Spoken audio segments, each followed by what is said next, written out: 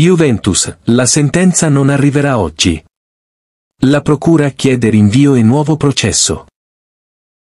Benvenuti nel canale. E se ami la Juventus e vuoi rimanere ben informato sulla Juve, iscriviti al canale e clicca il campanello in modo da non perderti nulla. Juventus, è il giorno della verità e del giudizio che potrebbe confermare o disturbare la classifica di Serie A, è iniziata alle 14.30, nel Salone d'Onore di Palazzo H a Roma, l'audizione presso le sezioni unite del Guarantee College del CONI per discutere la penalizzazione di 15 punti in campionato per la Juventus in caso di plusvalenze.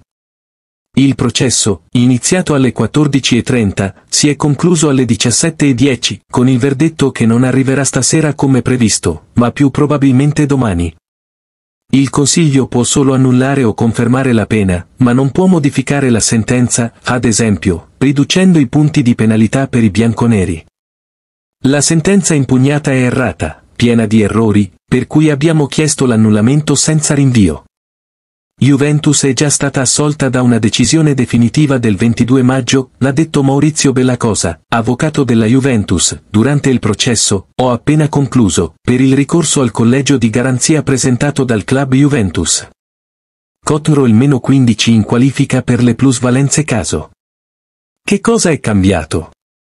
Le 14.000 pagine degli atti torinesi sono arrivate, ma c'è davvero qualcosa da dimostrare sui valori gonfiati?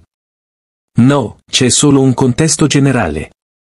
Niente da cambiare la soluzione di maggio. Credo che il lavoro del procuratore della FIGC fosse corretto.